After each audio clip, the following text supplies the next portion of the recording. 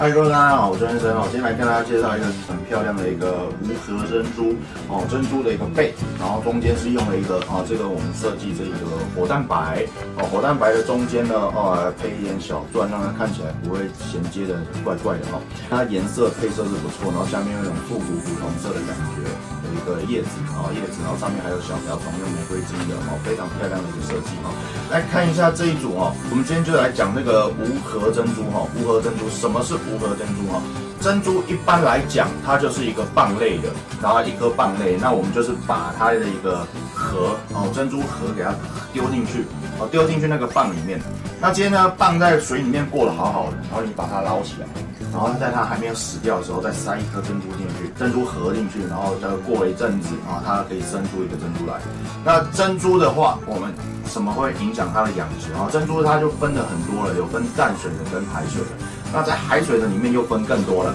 海水的里面像不同国家，像我说日本哦，他们有什么阿欧亚珍珠很有名嘛。如果你发现把阿欧亚珍珠丢到大溪地，或者把大溪地的去丢到日本去，那是完全活不了的，因为它们的品种不一样，那蚌类的品种不一样。那那个蚌是我们平常在吃的那个，去我们去日日日本料理店吃的那个生蚝吗？哦，不是哦，哦，生蚝它是科仔类的，哦，科仔类跟蚌类是不一样的哦。那这个蚌类的这个啊珍珠啊，我们什么是无核，什么是有核呢？哦，有核就我刚刚说的，它就是把那个蚌从水里面捞起来然后，丢一个珍珠壳进去，然后让它去生长很多年这样子。那你今天说那个一个珍珠壳可能才台币，假设啊台币一百块，你把它丢到那个蚌里面，那等到它养好了以后呢，是一个漂亮的珍珠的时候呢，它可能要台币五千块、一万块，看它养的漂不漂亮。当然，假设说今天它漂亮，它变得很贵，你就说，呃，你当初那么便宜的东西，怎么现在卖那么贵呢？哦，你不能这么说，因为他们第一个嘛，我刚说了，他们要快点把它捞起来，然后还没死又把它放回去。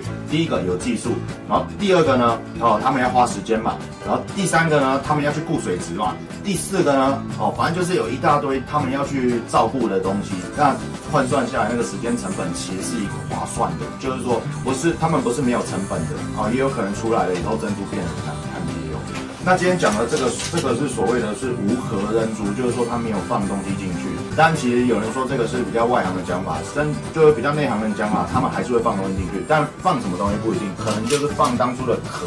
然后也可能是放塑胶，也可能是放玻璃类的，它放有人放碳酸钙类的东西进去，就是还是会放，只是说让它长得，因为无中生有，生出一个很像珍珠贝的东西，有人说也不太可能。对，有人说他会放，还是会放一点东西，那今天就可以长出这个漂亮的珍珠。那像日本他们的一个水质干净，第二个他们温度也比较低。